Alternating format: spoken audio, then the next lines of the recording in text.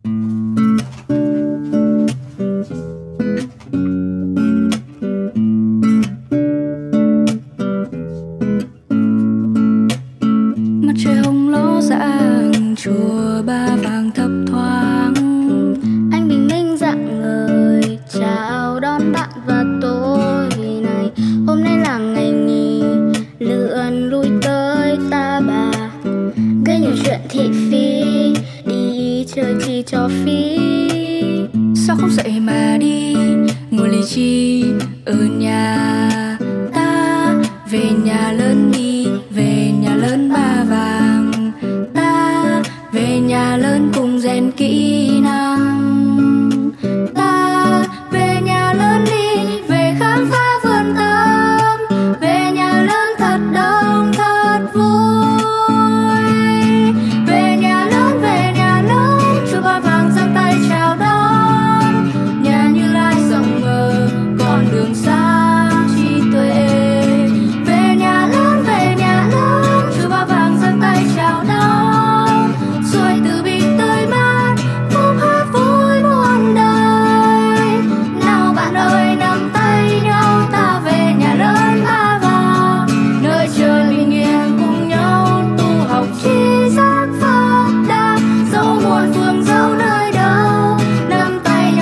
humano.